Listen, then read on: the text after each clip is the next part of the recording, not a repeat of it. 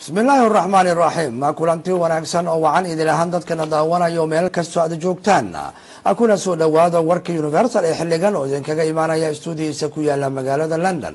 Anigu hatul waayana waan idinla socodsiinayaa qodobada aan wararka idinku hayana waxaa ka mid ah madaxweynaha jamhuuriyadda federaalk soomaaliya maxamed cabdulaahi farmaajo oo maalintii labaad booqasho rasmiga ku jooga dalka suudan ayaa waxa uu soo kormeeray warshadaha lacagta iyo hubka ee dalkaasi suudan gudoomiyaha xisbiga talada somalilan haya ee kulmiya muuse biixi cabdi ayaa wuxuu magaalada boorama kaga qayb galay. Munaasabad lagu soo dhoweynayo taageerayaal ku soo beeray xisbiga kulmiya kana soo wareegay xisbiga mucaaradka ee wadani madaxweynihii hore maamul goboleedka galmudug maxamed axmed caalin iyo mas'uuliyiin kale ayaa dhagax dhigay. Isbitaal laga dhisiyo deegaanka gawaan kaasoo adeeg siinaya dadka ku dhaqan deegaankaasi oo aan adeeg caafimaad ku haysan deegaankaasi hoos yimaada gawaan intaasi daawadaal waxay ahayn qodobada wararka ugu waaweyn. Haatana isagii oo fisan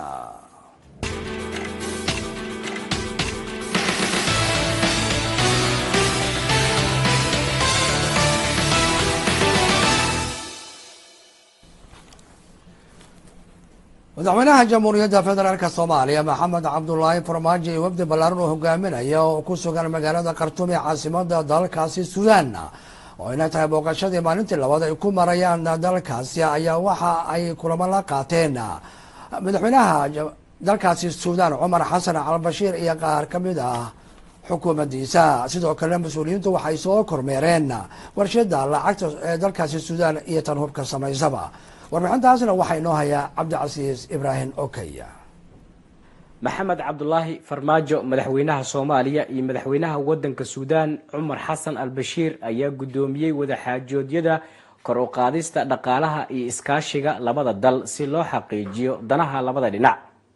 Wafdiga oo hogaaminaya madaxweynaha soomaaliya mudane farmaajo waxaa ka mid ah xubno ka mid ah golaha wasiirada xildhibaanada taliyaha booliiska guddoomiyaha bangiga dhexe iyo xubno kale arrimaha ay soo bandhigeen madaxweyne farmaajo iyo madaxweyne albashiir ayaa waxaa ka mid ahaa qorshe lagu sameynayo dalad dhaqaale oo ay ku midaysan yihiin dalalka geeska afrika.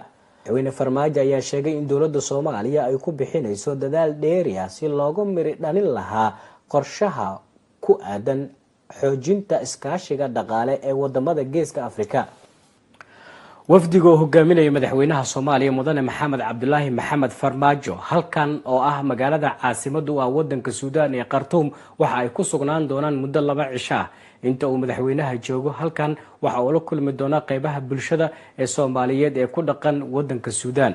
Waxaana la filayaa in kulamo kale oo dheeri ah oo la yeesho madaxda wadankan cabdicasiis ibraahim axmed okey t v-ga universal haddaba waryaheena cabdicasiis ibraahim oke oo la socda wafdigaasi ayaa wuxuu noosoo sheegay in madaxweynaha iyo wafdigiisu ay maanta soo kormeereen warshadaha sameeya lacagta iyo tan hubka soo saartaba. Wixii wararoo ka soo korina waryaheena ayaa halkaasi inooga soo gudbin doonaa dowladaha jarmalka iyo soomaaliya ayaa inta magaalada muqdisho waxay heshiis ku kala siixdeen horumarneed oo ku saabsan iskaashiga labada dowladood. Munasar maxmed ayaa warkan ka soo diray muqdisho kan sida wadajirka ay u qabteen safiirka jarmalka iyo guddoomiyaha aqalka sare wuxuu ahamiyadiisu ahaa sidii labada dal ay isaga kaashan lahaayeen dib u dhiska dalkan iyo sidii loo tayayn lahaa ciidamada qalabka sida. Safiirka jarmalka u fadhida soomaaliya juta fraj ayaa ka sheegtay kulanka in dowladdeedu ay mudnaan gaar ah siinayso sidii soomaaliya ay dhinac kasta uga taageeri lahaayeen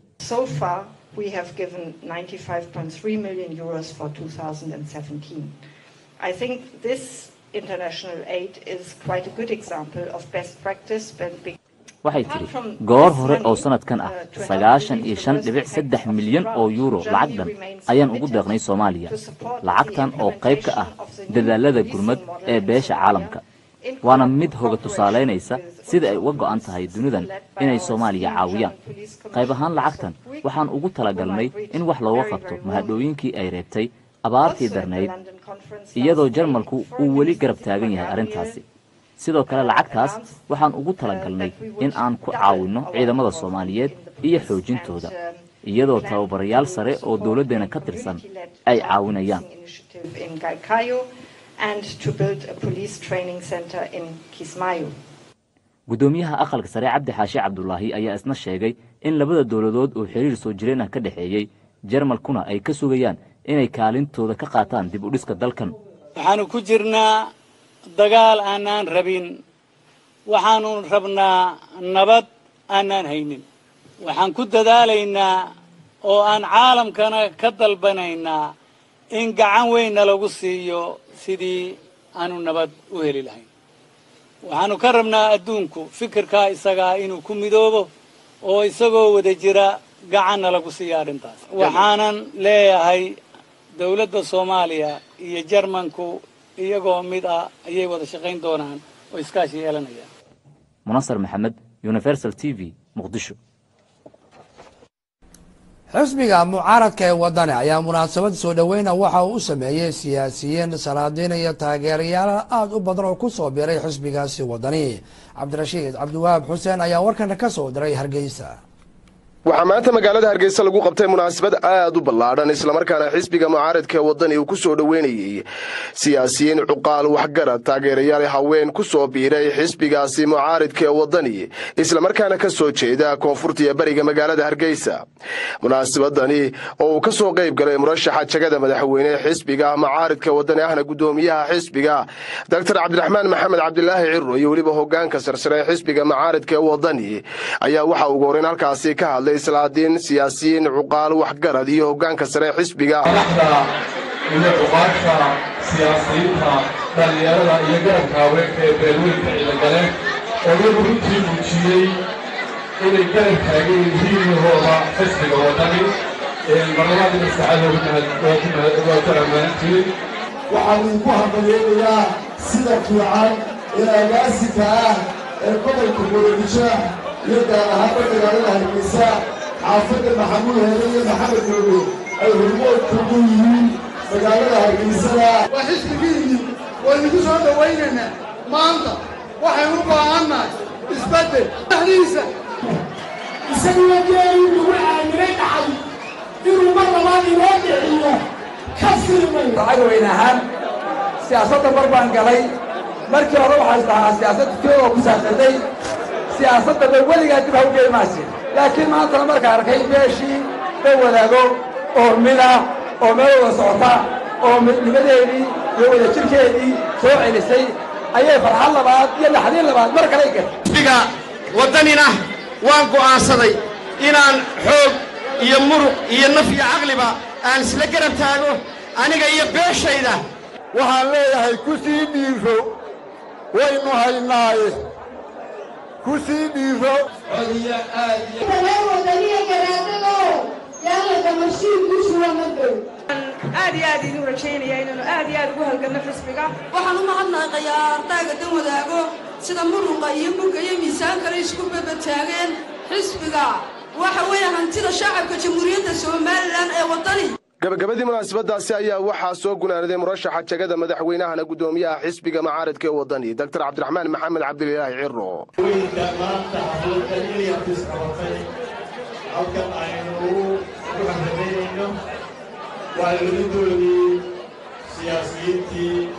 madaxdii qaranka aqoon-yahankii haweenkii wadajoogii maanta waxaan uga mahadnaqayaa dhammaantood inay taageereen rabitaanka shacbiga somalilan oo ah isbeddel maanta ummaddu waxay ka daashay oo ay quus ka joogtaa maamulka kulmiye waxay maanta ummadda noloshooda iriiri geliya ka waraysaa sicirbar xukuumaddu waxaa tiriyo kulmiye waxba ka qaban kari mayno maanta shacbigu waxay ka quusteen cadaalad darro badan oo jirta cabdirashiid cabdiwahaab xuseen universal t v guddoomiyaha xisbiga talada somalilan haya ee kulmiya muuse biixi cabdi ayaa wuxuu magaalada bowrama kaga qayb galay. Munaasabad lagu soo dhoweynaya taageerayaal iyo ku soo biiray xisbigaasi kulmiye kana soo wareegay xisbiga mucaaradka ee wadani. Xuseen caataye jaamac ayaa warkan inooga soo diray bowrama kulligeen kulligeen kulmiyaane kulmiyaane kulmiye kulmiye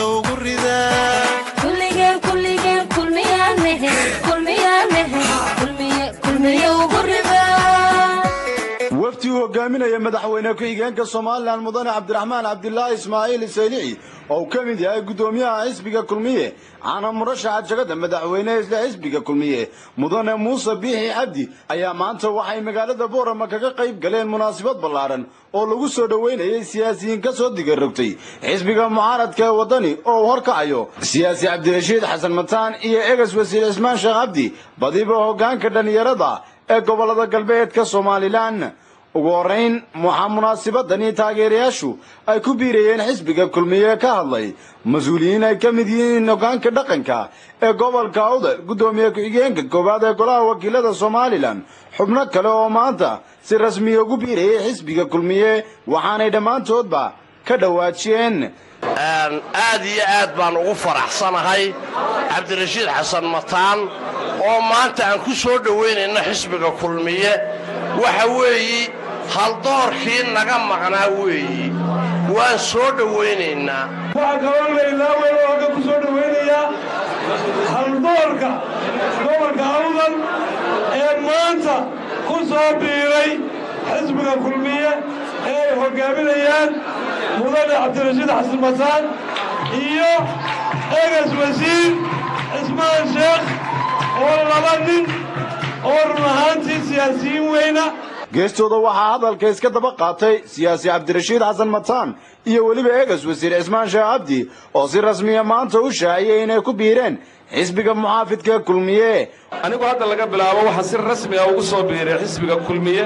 Waan u shaqaynayaa. Waxaa kaloo aan wargelinayaa. Dhammaanba taageerayaashaydii waddankan ku lahaa anigu hore xisbigii hore ee weynaana waa ka soo shaqayn jiray. Waddankao dhanna waxaan ku lahay nufuud. Ma aha gobolka awdal keliya. Aqoontayda waayo aragnimadayda xidhiidhkayga iyo taladaydaba waxaan gelinayaa xisbiga kulmiye horta waxaan ku faraxsanahay maanta inaan ku biirayo xisbiga kulmiye oo aan mucaarad adag ku ahaa muddo dheer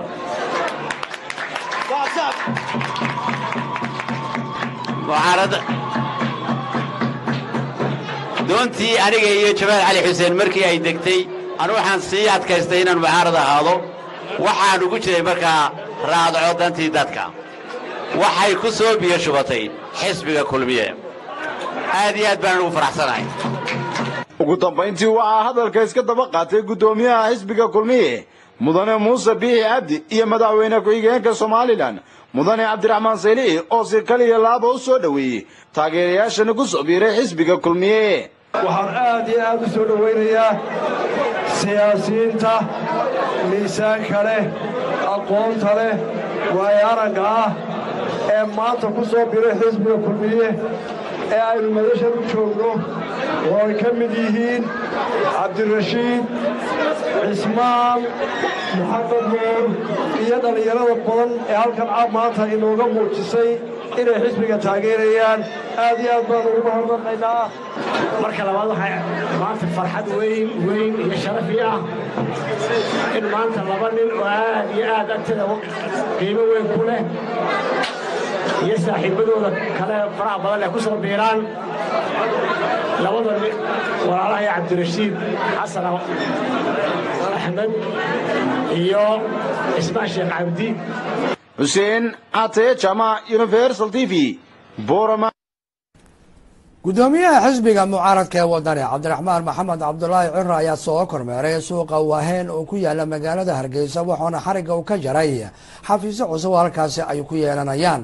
Mukhtaar ismaaciil cali ayaa warkan ka soo diray hargeysa musharaxa madaxweyne ee xisbiga mucaaradka ee waddani ahna guddoomiyaha xisbigaasi cabdiraxmaan maxamed cabdilaahi ciro ayaa saaka kormeer indhaindhayn oo uu ugu kuurgelayo xaaladda dhabta ah ee ka jirta suuqa waheen ku tegey kadibna waxa uu cabdiraxmaan ciro xadhigga ka jaray xafiis uu xisbigaasi ku yeelan doono bartamaha suuqa waheen. Cabdiraxmaan ciro oo la hadlay dadweynihii iskugu soo baxay goobta xafiiska uu xadhigga ka jareeyey ayaa ku eedeeyey xukuumadda ku abtirsata xisbiga kulmiye. In muddadii toddobada sane ee xilka haysay uu sare u kacay sarifka lacagaha qalaad hoosna u dhacay shilinka somalilan.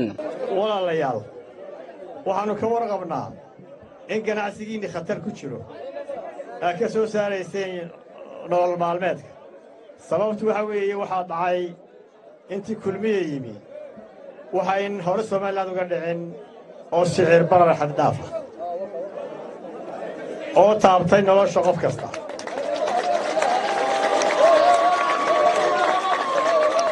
oo aad goyn kari weydeen qiimaha badeecadda ku iibinaysaan maanta iyo waxay berri noqon doonto. Dadka iibsanayaana ee idiina macmiishuna waa ku dhib oo berri wuxuu ku iibsanayo ma yaqaanno cabdiraxmaan cirro oo hadalkiisa sii wata ayaa ku eedeeyey maayirka caasimadda hargeysa. Cabdiraxmaan soolteeko inuu lunsaday cashuur badan oo laga qaaday hooyooyinka iyo dadka kale ku ganacsada suuqaasi waxaa dhacda maalin walba cashuur baa laydinka qaadaa cashuurta laydinka qaado meeyarku wuxuu ugu ololeeyaa xisbiga kulmiya meeyarka hargeysa kumaydaan arag sheekh. Meeyarka hargeysa hargeysuu meeyar ka yahay. Isagoo sheekh ka ololaysa maydaan arag. Isagoo burco ka ololaysa maydaan arag. Isagoo laascaanood ka ololaysa maydaan arag. Muxuu ku ololaynayaa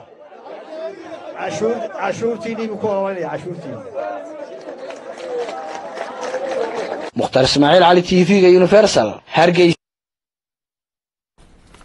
Gudoomiyaha xisbiga talada somalilan haya ee kulmiya muuse biixi iyo sidoo kale wasiire ka tirsan xukuumadda somalilan ayaa magaalada burco waxay kaga qayb galeen xaflad loo sameeyey siyaasiyiin ka soo baxay. Xisbiga mucaaradka ee wadana kuna soo biiray xisbigaasi kulmiye xabiib cige xasan ayaa warkan ka soo diray burco hoggaanka sare ee xisbiga muxaafidka ee kulmiye iyo wasiiro ayaa magaalada burco kaga qayb galay xaflad ballaadhan oo si weyn loogu soo dhoweeyey siyaasiyiin ka soo digarogtay xisbiga mucaaradka ee waddani kuna soo biiray xisbiga kulmiye. Taageerayaashani faraha badan oo ay horkacayeen siyaasi cabdiraxmaan sheekh xuseen iyo cuqaal ayaa ka warramay sababta keentay inay wakhtigani ku soo biyashubtaan xisbiga muxaafidka ah ee kulmiye. Oo ka mid ahaan jiray aasaasayaashii ama halgamayaashii runtii wakhtiga dheer la soo kifaaxay xisbiga waddani isla markaana aakhirkii ku qinci waayey siyaasaddiisa iyo qaabku u shaqaynayo una soo digarogtay xisbiga kulmiye. Xafladdani waxay jebisay xuduudihii uu dhigtay xisbiga waddani ee uu ku yacnaa xeelay galbeedka magaalada oo uu runtii in badan ku naaloonayay ama isugu sheekaynayay. Ayaga mabda ayagaan ku raacnay ninkii cadhoonaya iyo ninkii kaleba ninna ku raaligelinayna mabda ayaga iyo siyaasadayda waxaan leenahay ishii bugtayba ku bikaacso mucaarad meel horu nooga soo saari waayey. Xaafidaannu hoos tegaynaa. Ku kalsoonaada dhayntaa wadataan. Asliinoo xisbiga kulmiyo sawdka war madaxweynaha cusub sooma dooro madax muuse biixiyo waxaan leeyahay garabkaa walaaladii ah ee waddani wax colaadu meesha yaallaan ma jiraan waxaynu samaynaynaa inaynu tartanno. Tartankuna waa xalaal qof waliba mowqifkiisa meeshu doona ayuu ku cabiraya ujeeddadan waxa weeye inaynu codkeenna ku hubsanno oo aynu dooranno. Xisbigaa waxqabtay xisbiga waxqabadka maanta in beesha halkan joogta ay jebisay gidaarkii qabyaaladda una guurtay geedigii dimuqraadiyadda dhinaca kalena mas'uuliyiinta faraha badan ee ka socotay xisbiga kulmiye ayaa si weyn u soo dhoweeyey taageerayaashaasi ku soo biiray xisbigooda. Markaa kulmiye cayb badan laguma yaqaano ceebayn badan laguma yaqaano dalkaa dumaya laguma yaqaano dalkaas laguma doono laguma yaqaano natiijada aqbali mayno kulmiye miyaa lagu yaqaanaa natiijada aqbali mayno laguma yaqaano. Hadda anigu cid lagu cid lagu yaqaano arrintaana sheegiba maayo dee dadkaa sheegi doona hadda. Waxaan aad ugu faraxsanahay runtii maanta. Inaan ku soo dhoweeyo galbeedka burco inaan maanta anigoo ku soo dhoweeyo xisbiga aad baan ugu faraxsanahay. Waxaan soo dhowaynayaa maantaan halkan ku soo dhowaynayaa mujaahid cabdiraxmaan iyo mujaahid axmed yuusuf oo maanta ku soo biiray xisbiga oo runtii guddiganba aynu ku soo dhowaynay sii socdaa hase xaaja caliwa maxamed ayaa hogaamiyaha baa la yidhi. Oo cirka muxuu noqonayaa dee markaa galbeedka burco wuxuu caddaynayaa oo ay xisbigoodii reerkoodu waxaa uga soo wareegeen. Waxay doonayaan nin dalkan difaaca. Nin farmaajo u jawaaba. Cabdiraxmaan ku soo dhowaynaynaa qiimaha uu leeyahay baan ku soo dhowaynaynaa baaxadda iyo taageerayaasha maxaanku dhahdaye taageersan baan ku soo dhowaanaynaa xusbigaan ka wada mid nahay.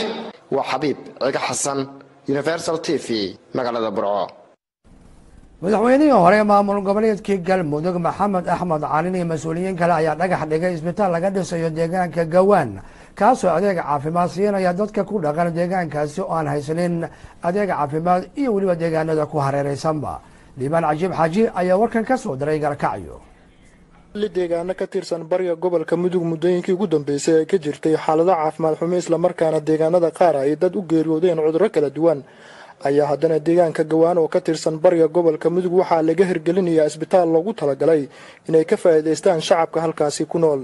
Deegaankaasi ayaa la sheegay inay ku geeriyoodeen haween badan oo ku jiray xilliga dhalmada kadib markii ay waayeen xarun caafimaad kuwaasoo qaarkood geeriyooday xilli ay ku soo jireen jidka islamarkaana loo soo waday dhinaca magaalada gaalkacyo.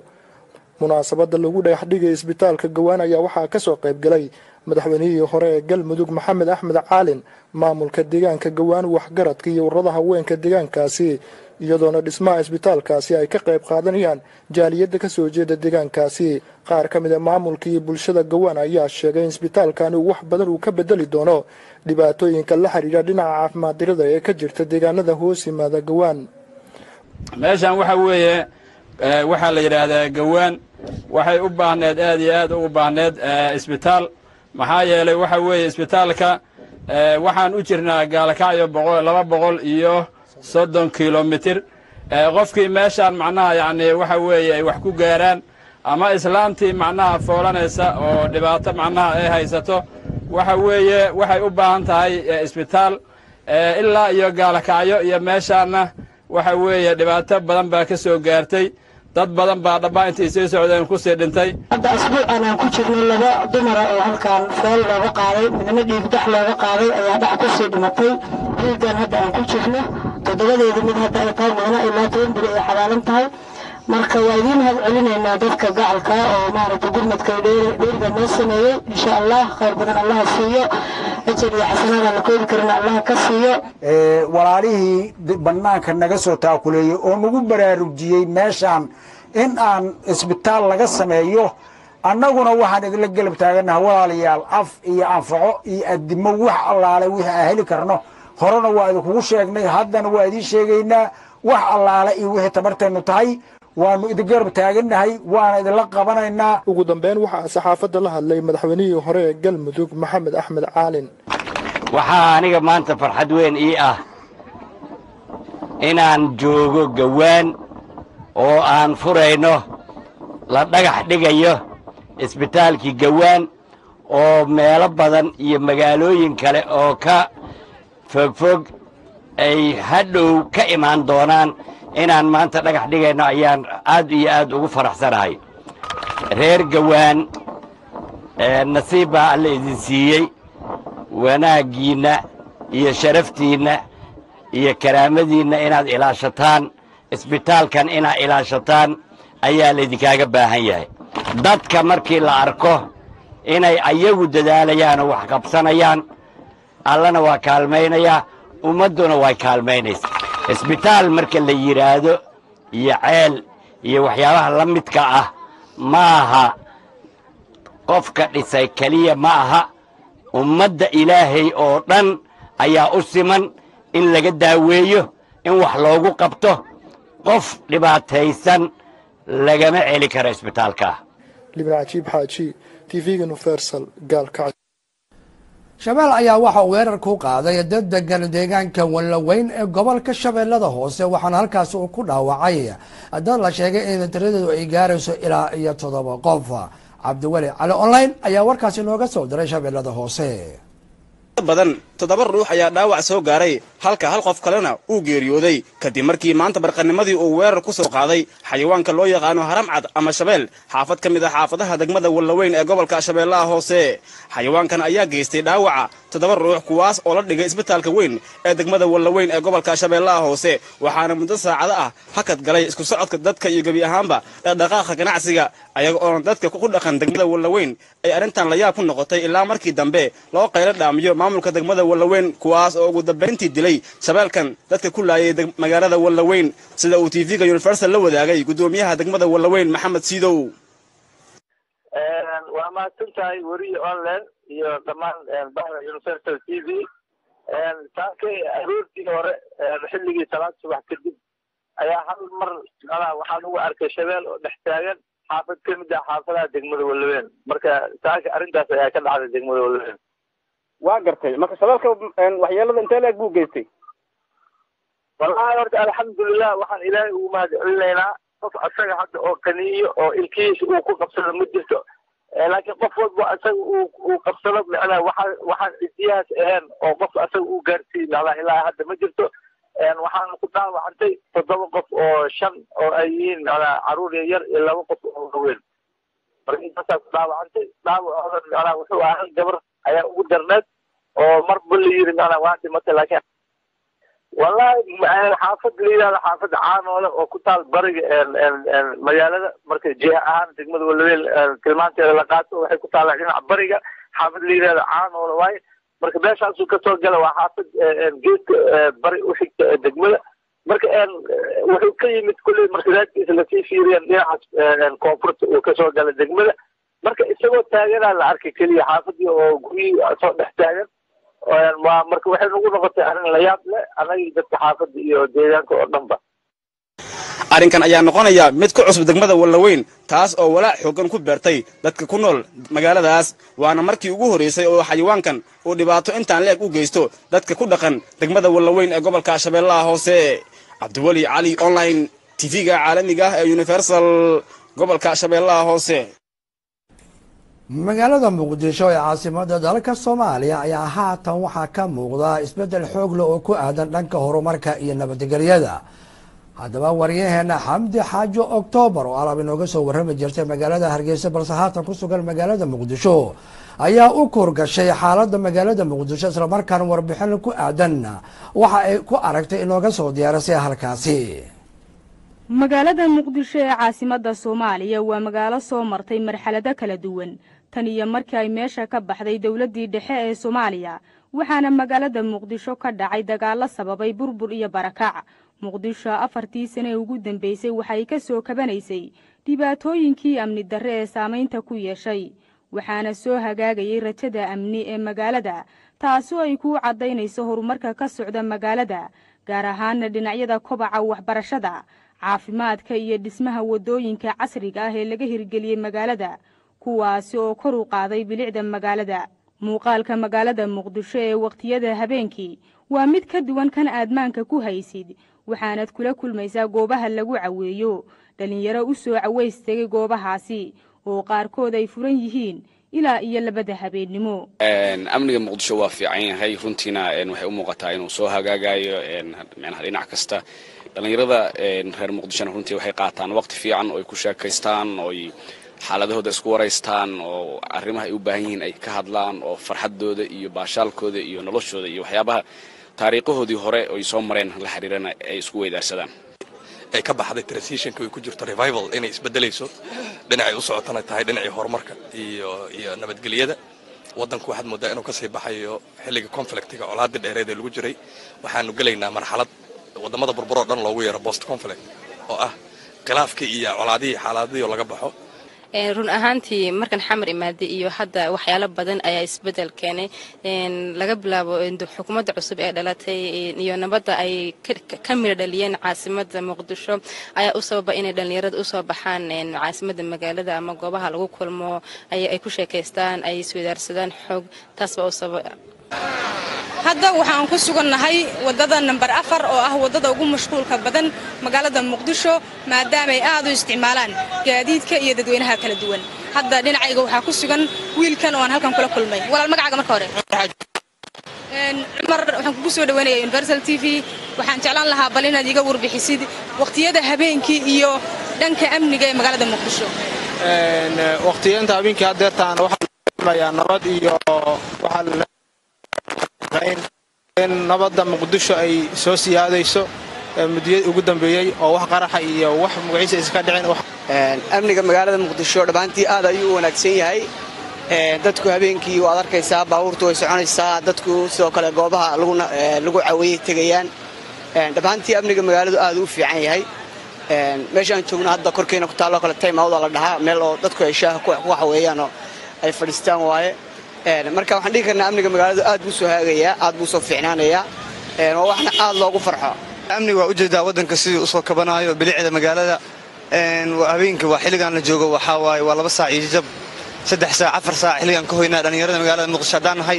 Soo waxaa dareemaynaa isbeddel badan inuu waddan ka muuqdo xagga amniga isbilicda magaalada. Waxyaalo badan laga soo kabanayaa waagii hore iyo hadda isku mid maaha soo marka waxaan rajaynayaa intaani in ka badan inaan maxaa la dhahaa ku noolaan doono dadka dibadaha joogana. Waxaan leeyahay waddankiina saan u qurux badan yahay ku soo laabta waddankiina xamdi xaaji oktoobar telefishinka caalamiga ah ee universal muqdisho. Mas'uuliyiin ka tirsan maamul goboleedka hirshabelle ayaa waxa ay ka qayb galeen munaasabad ay jaamacadda joobka ee faraceeda jowhar ay kaga qalin jibinayeen. Arday dhammaysatay heerka koowaad ee jaamacaddaasi. Ismaaciil cabdulla sabriye ayaa warkan ka soo diray jowhar munaasabadani oo ahayd mid seersaraa loo soo agaasimay islamarkaana ay ka soo qayb galeen xubnaha labada gole ee ay ka kooban tahay dowlad goboleedka hirshabelle maamulka gobolka shabeellaha dhexe iyo kan degmada jowhar madaxda sare ee jaamacadda joobkay waalidiin waxgarad haween. Dhallinyaro ayaa waxaa ku qalinjebinayay in ka badan boqol iyo labaatan arday oo dhammaysatay heerka koowaad ee jaamacadda joobkay faraceeda shabeellaha dhexe ugu horeyn waxaa munaasabadda ka hadlay guddoomiyaha jaamacadda joobkay cabdicasiis caagane cabdisamed iyo marti sharafta kale ee munaasabadda ka soo qayb gashay. Runtii waxay inoo tahay farxad aad iyo aad u weyn. Waxay inoo tahay runtii maanta maalin taariikhi ah. Sana kadib burburkii dalka ka dhacay in maanta qaar ka mid ah gobollada oo aanan horay jaamacad xataa loogu asaasin inay maanta ka qalin jibinayaan boqol iyo soddon arday. Waxay inoo tahay farxad aad iyo aad u weyn. Inaan maanta aan ku sugannahay howlka baarlamaanka munaasabadda xafladda qalinjibinta dufcadii koowaad jaamacadda joogkii kambaskeeda ama xarunteeda jowhar waxay inoo tahay runtii farxad aad iyo aad u weyn waxaan idin leenahay hambalyo hambalyo hambalyo. Waxaan u mahadcelinaynaa joogkay. Runtiina waxaan ka codsanaa maamulka oo weyn yahay guddoomiyaha baarlamaanka. Dadkan haddii dhammeeyeen shahaadadoo qaataan waxay u rubqaansanayaan dhinaca hirshabelle maamulkiisa. Waxbarashada shaqooyinka ugu horreeya oo soo baxo ma aragtay qaybtooda laga siiyo oo dugsiga sare ka baxay dugsiyada sare ku yaalla jowhar ka baxay. Maanta inay gidaaradu fadhiyaan jaaniskana aanu u saamaxin in xamar loo gudbiyo ama tan lafteeduna wax ka bartaan aad moodo si uunana wax u salugayaan ama ay ku borogaraamsan tahay taariif oo la doonaya qoysku xadka beerta oo asaga lagu soo kordhiyey iyo xariishka lagu soo kordhiyey ku baray in cabduqaadir waasuge waxa uu ka mid yahay ardayda maanta qalinjabisay waana nin curyaan ah oo gaari lagu riixayo islamarkaana ku dhiiraday in uu maanta ardaydani qalin jebinayso la qaybsado farxadda qalinjebinta kusimaha madaxweynaha dowlad goboleedka hirshabelle ahna guddoomiyaha baarlamanka cismaan bare maxamed ayaa ugu dambeyn ardayda ugu hambaliyeeyey dhammaysashada heerka koowaad ee jaamacadda marka hore waxaa farxad weyn maanta ii ah. Ama aan doonayaa inaan la wadaago farxaddan maamulka ama madaxda jaamacadda joobkey iyo ardayda qalinjibinaysa maanta ee halkaa fadhiso. Anigoo ku hadlaya magacayga kan shacabka dowlad goboleedka hirshabeelle iyo magaca madaxweynaha dowlad goboleedka hirshabeelle dhammaanteen waxaan idin leeyahay hambalyo waxaan idin leeyahay hambalyo hambalyo ismaaciil cabdulle sabriye universal t v.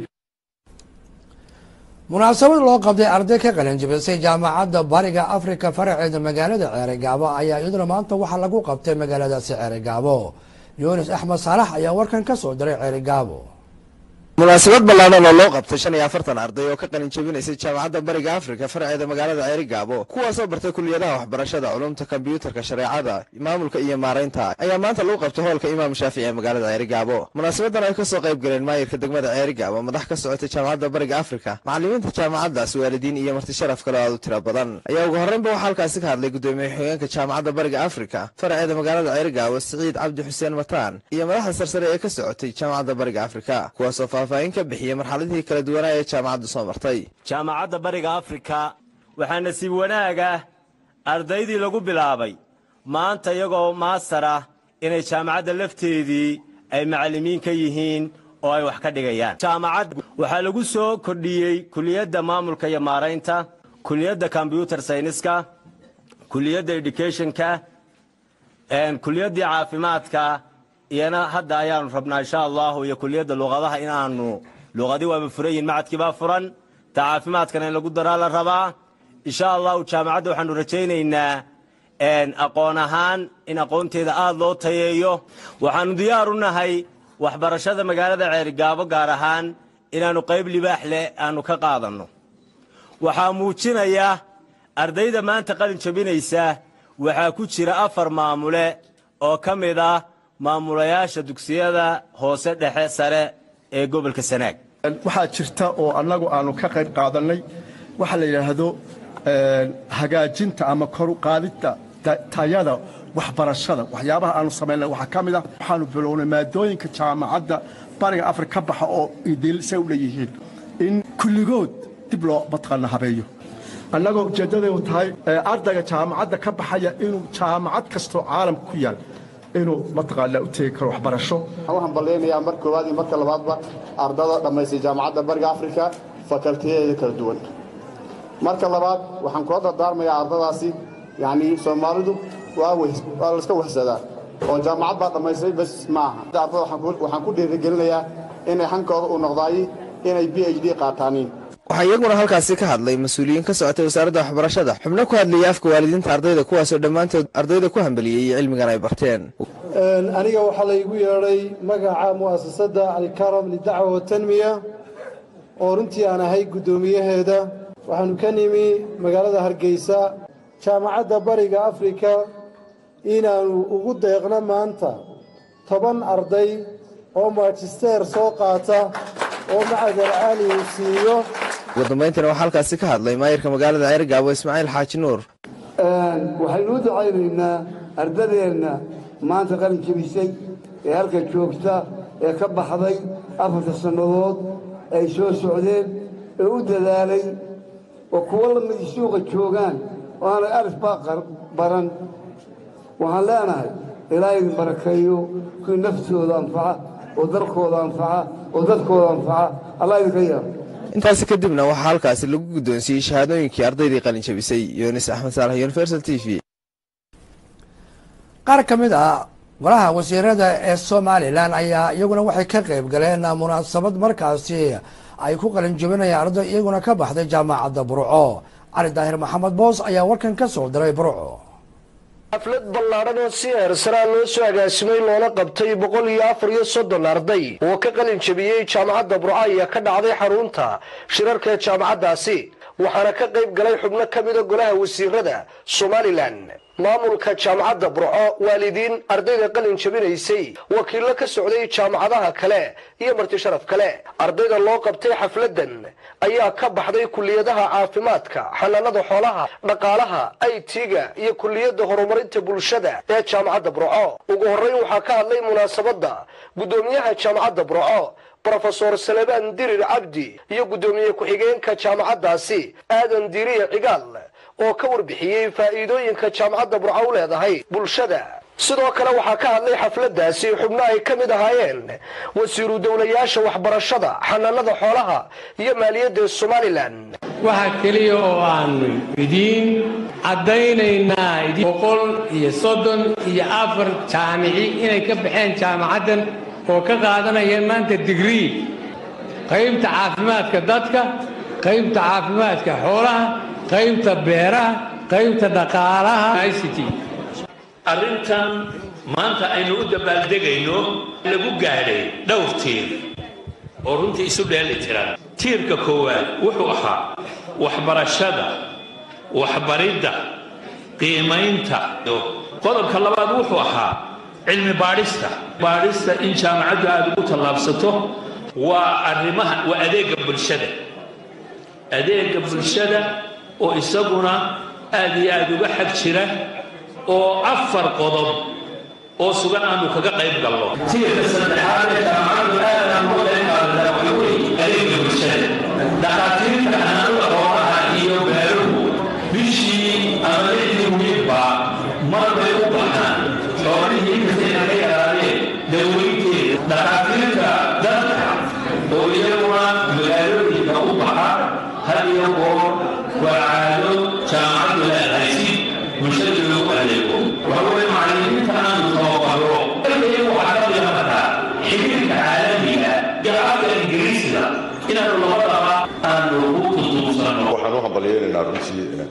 jaamiciintan maanta qalin jebisay waalidiintooda ku soo tacabtay macallimiinta wax soo bartay iyo jaamacadda burco guud ahaan. Waxaad ka warqabtaan jaamacadeena burco inay ka qayb gashay waxa weye shirweynihii carab chinese higher education conference lagu qabtay dalkaasi jordan jaamacad urduniya sameeyey qiimeyn ayay suurto gashay in la aqbalay jaamacadda burco iyo jaamacadda camuud oo keliya dariiqaadeeda soo mareen beerbeerka lagu soo kala sameeyey waxay muujinaysaa jaamacadda burco waxyaabaha aggaarka la tahay waa dufcaddii toddobaad ee ka qalin jabisa jaamacadda burco isla markaana tiradoodu ay dhammayd boqol iyo afar iyo soddon arday oo ka qalin jabiyey kulliyadaha kala duwan ee jaamacadda burco calibaar maxamed boos t v-ga caalamiga universal jaamacadda burco madaxweynaha jamhuuriyadda federaalk soomaaliya maxamed cabdulaahi farmaajo wafdiga uu hogaaminayo oo maalintii labaad booqasho rasmi ah ku jooga dalka suudan ayaa maanta waxay soo kormeereen warshadaha sameeya lacagta iyo hubka ee dalkaasi suudan waryaheena cabdicasiis ibraahim okey oo la socda wafdigaasi kuna sugan magaalada khartuum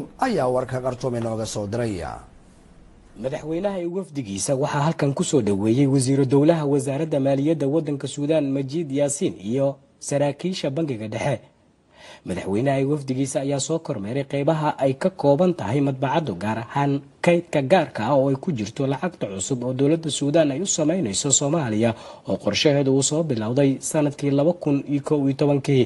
Gudoomiyaha bangiga dhexe ee soomaaliya bashiir ciise cali ayaa u sheegay madaxda iyo khubarada ka socota wadanka suudaan.